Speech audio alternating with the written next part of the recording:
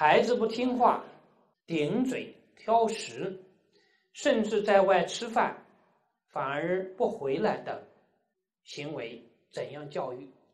青少年的教育问题不是定标准的，这需要用爱心、包容、耐心和一系列巧妙的方法去引导，不要把孩子现有的行为定性，因为他在成长。回想一下，我们青少年成长过程中，是不是样样都那么配合长辈、听从教诲啊？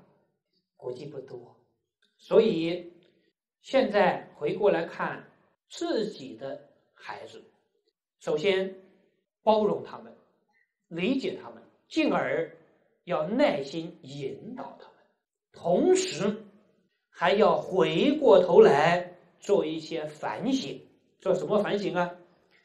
孩子不听话，从什么时候开始的？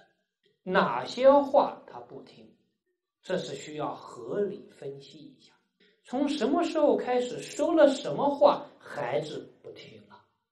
说话的方式和态度有没有思考过？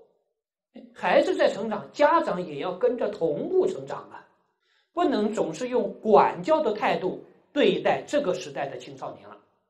这个时代的青少年，各位是接下来世界的主人哦，你可要想明白了。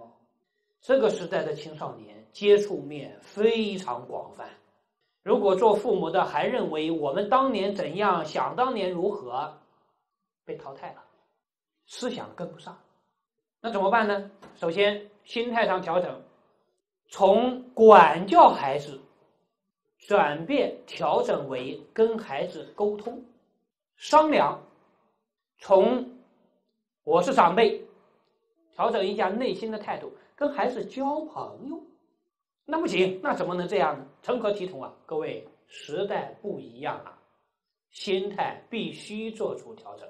不调整呢？不调整没事，过些年他把你调整掉。现在不是说做父母的给孩子机会啦，各位，各位做家长的，各位做家长的，你可能要考虑一下，大家要考虑一下。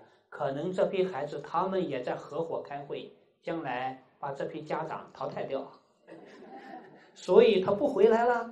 不回来说明他觉得这个环境不适合他，顶嘴挑食，这些是生活习惯，这些生活习惯是需要找到源头，耐心引导，那根本不是用命令强制的手段能做到的。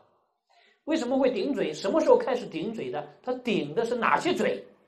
找一找，挑食嘛，这个简单，这个需要饮食合理均衡，而且要科学引导。什么时候开始挑食的？肯定不是今天。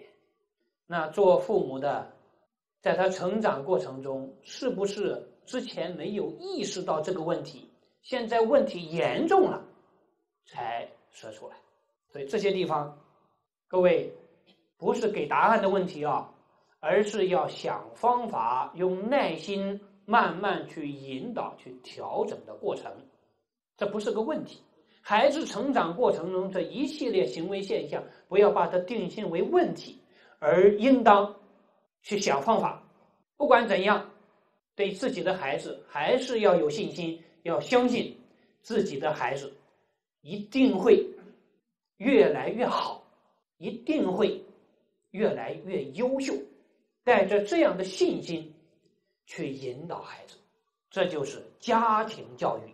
所以这个时代青少年的成长不是某个部门、某个老师能够决定的，这是一个综合环境，尤其是家庭环境需要给他在这一方面多做一些引导。